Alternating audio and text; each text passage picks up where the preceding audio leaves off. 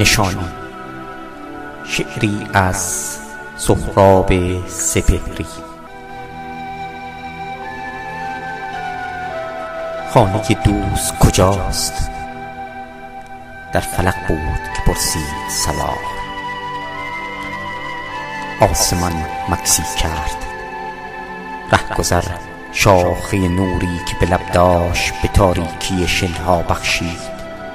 و به انگشت نشان داد سپیداری و گفت نرسیده به درخت کوچه باغی است که از خواب خدا سبزتر است و در آن عشق به اندازه پرهای صداقت آبی است.